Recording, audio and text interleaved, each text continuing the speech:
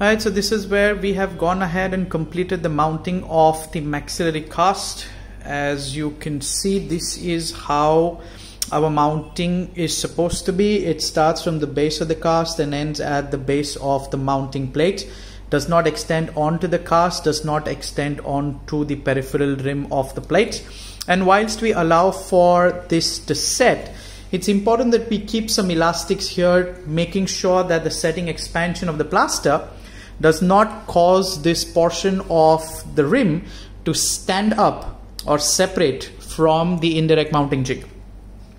Now that this is ready, we will now prepare the articulator to receive the mandibular cast mounting. So the first thing we do is separate out these elastics. We no longer need them.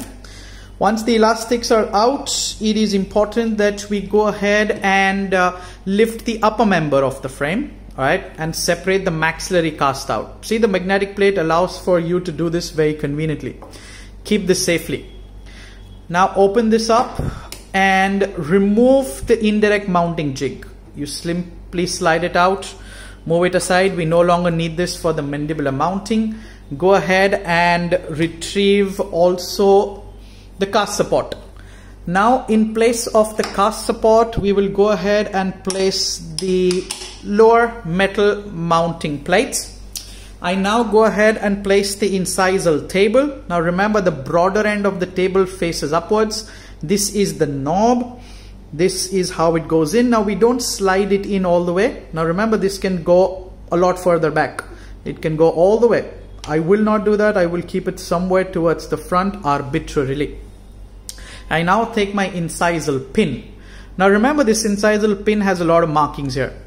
I will always do my mandibular mounting by keeping the spin at plus 5 which means 5 lines above 0 and the reason I do this is because I have recorded the CR with the help of the unwind in the patient's mouth. Now remember the unwind has a 5 millimeter disoccluding table so I compensate for that 5 millimeters by mounting the mandibular cast at an additional 5 millimeter. Alright, so we keep the incisal pin at plus 5 and go ahead and connect it to its proper location which is on the top of this rim. Right now the incisal pin is supposed to go and touch the incisal table because I'm using a flat table here it actually does not matter whether the pin touches the center towards the back or towards the front.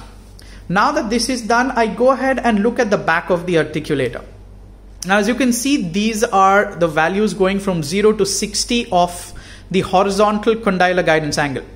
So at the start of my mounting, I will go ahead and set this at 15. Now see how I change this value? It goes from 0, 5, 10, 15 and I go ahead and set this at 20 which is the fourth line from the back. I've done the same thing towards the other side already but remember when you're mounting both sides have to be preset at 20 degrees. Now that the articulator is ready let us go ahead and orient the maxillary and the mandibular casts with respect to each other. Now we do this with the help of this centric relation record. I prefer to break away these small canine extensions before the mounting as it sometimes tends to interfere. So I go ahead and I adapt this onto the upper frame and I go ahead and I adapt the mandibular cast onto the lower side. Now it's extremely important that these are completely stable and seated with respect to each other. If they are not stable, your entire mounting will go wrong. So please take time to stabilize these. As you can see, the upper and the lower member fit into each other perfectly. Now at the time of mounting, it is very common for the lower member to slightly open up from its position. We don't realize it until the mounting is done. So before mounting, let us stabilize the upper and the lower member. And I prefer to do this with the help of glue stick from a glue gun we go ahead and place some increment at the back here. This seals the upper and the lower member towards this side. I put in a little more also over this side. Allow this to harden a little. Go ahead onto the other side and repeat the exact same thing. Now there are various materials available to do this. I prefer to do this with the help of the glue stick because once the upper and the lower members have been mounted, this glue stick can very easily be separated from the cast without hampering the quality of the cast in any way. Now that this sets, it holds the upper and the lower member with respect to each other, making sure that this does not leave the wax wafer until my mandibular cast mounting is complete.